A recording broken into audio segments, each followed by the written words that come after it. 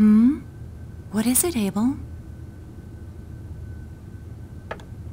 Is this what you want? Here you go.